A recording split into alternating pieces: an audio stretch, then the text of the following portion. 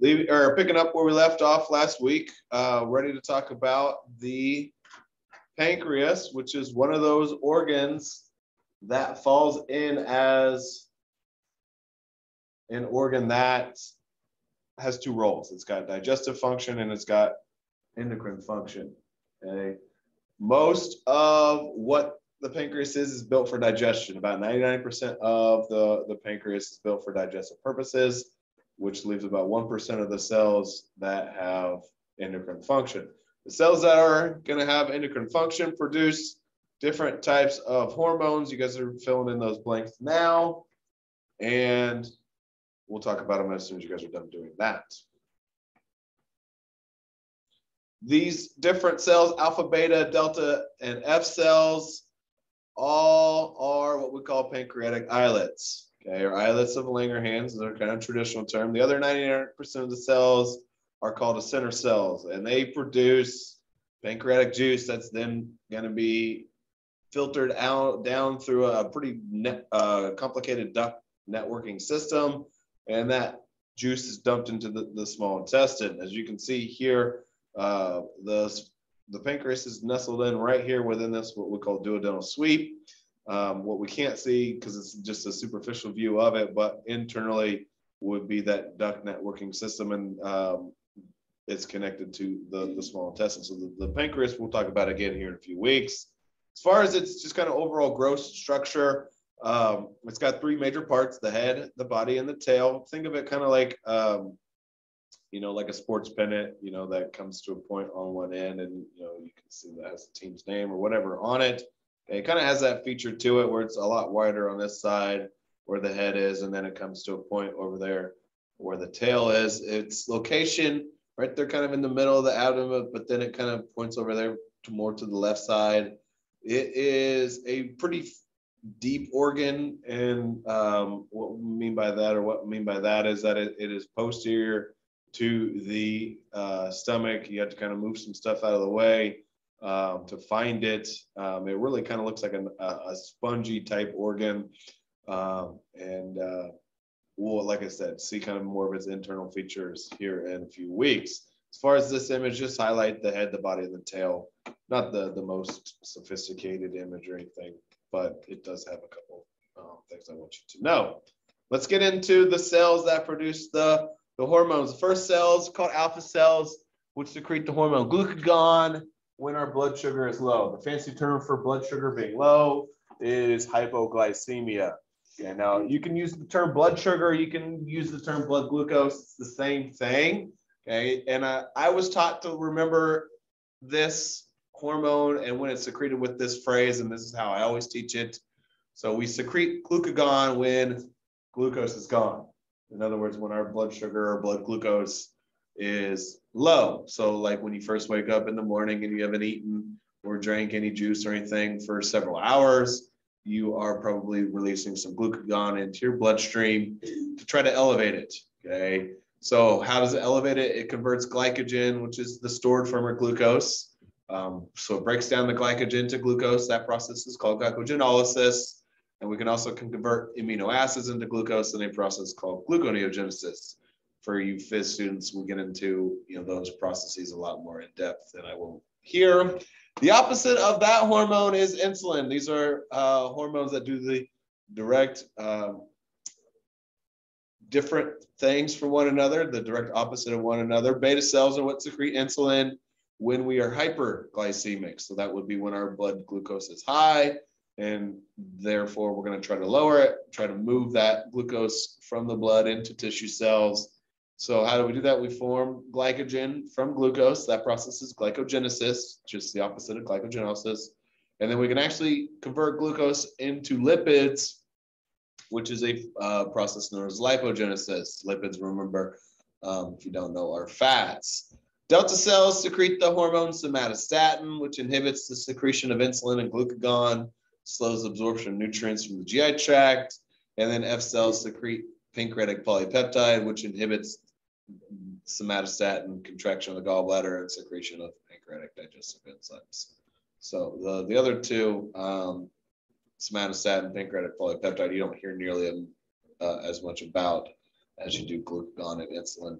insulin, you know, I'm sure you're all aware is uh, the hormone that is an issue for people with diabetes, whether it's type one and they can't produce it, or type two where their body has become resistant to it. Pictures down here at the bottom. This is just this, uh, the uh, um, cartoonistic version of what you see here, which is uh, under a microscope showing you those um, pancreatic islets. You can see the alpha and beta cells are labeled.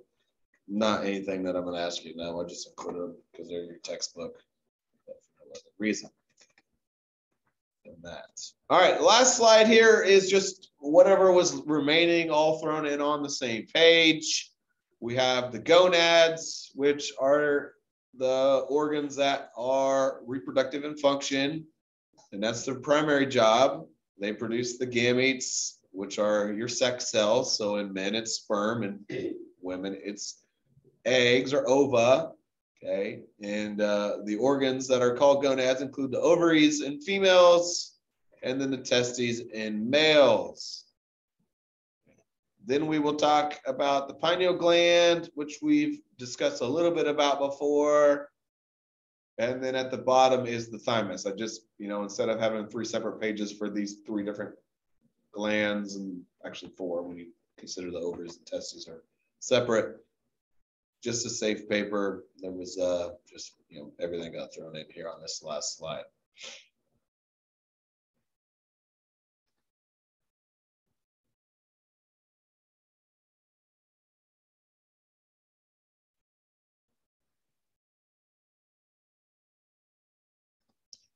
All right, I'm at the bottom. I might as well just start here. The thymus is an organ located behind the sternum between the lungs and rests right above the heart.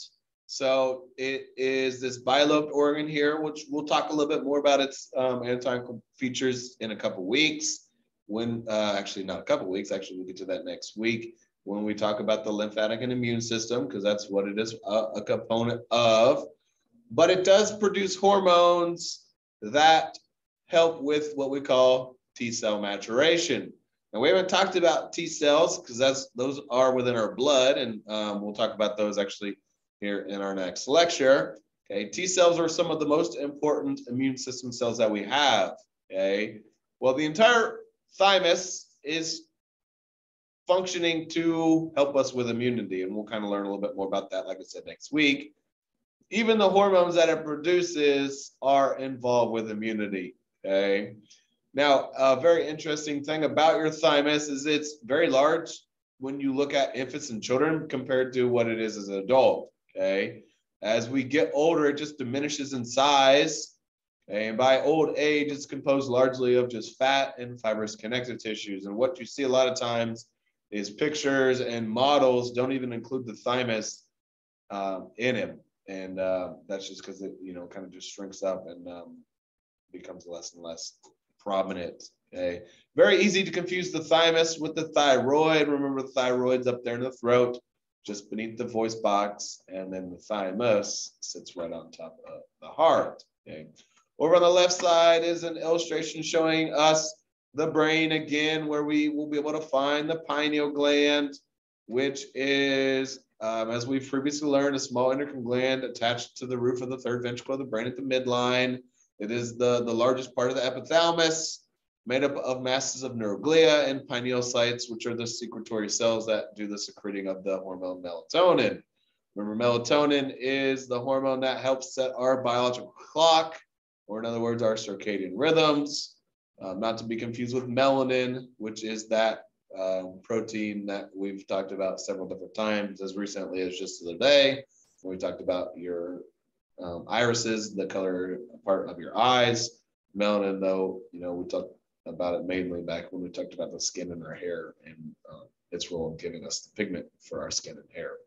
Melatonin, they believe, is what you know helps us sleep.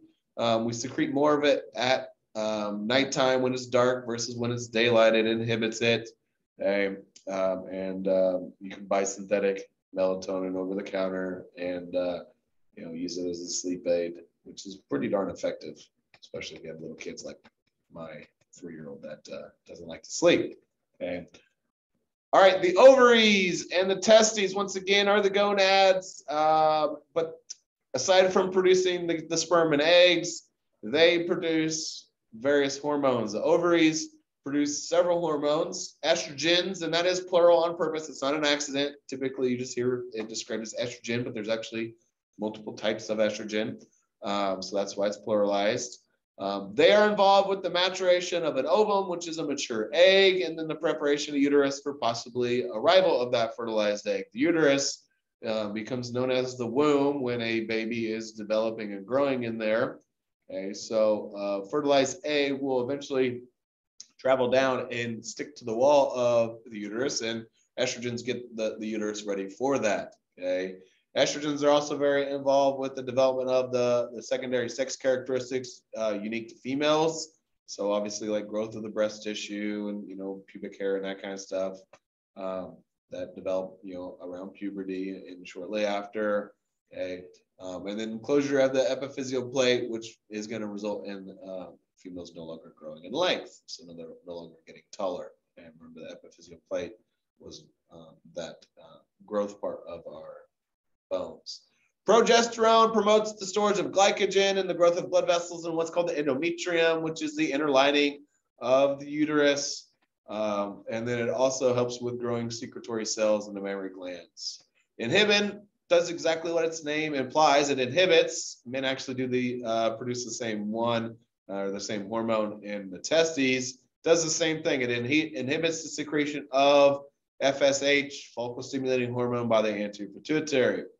And the relaxin, another pretty straightforwardly named hormone, helps relax the, the body of a female, and it's produced during pregnancy to increase the flexibility of the pubic symphysis. Remember, pubic symphysis is a little piece of cartilage between the hip bones so that the, the hips can spread open a little bit more to help with childbirth. And also to help with childbirth is uh, relaxin to help dilate the cervix. Okay. Aside from inhibin, the testes produce testosterone, which um, regulates the production of sperm, um, helps maintain the male secondary sex characteristics. So, you know, one of the biggest things is it helps with, you know, growing the genitalia and producing lots and lots and lots of hair. It's also a um, prominent hormone that helps with growing tissues. So it explains why men, you know, typically have bigger muscles, bigger bones, um, bigger organs as a, as a whole. And then um, Testosterone also does the same thing as what we saw with estrogens, helps with closing the epiphyseal plate. Uh, as far as the pictures here at the bottom, I'm not really worried about you identifying them. Um, so just make sure you know the information. Sound good? Questions or anything?